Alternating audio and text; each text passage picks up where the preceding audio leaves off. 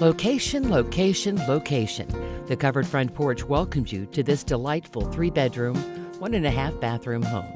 Features include a living room, kitchen, family room, first floor primary bedroom, den or office space, dual air cooling system, and a private level rear yard with a barbecue area and shed.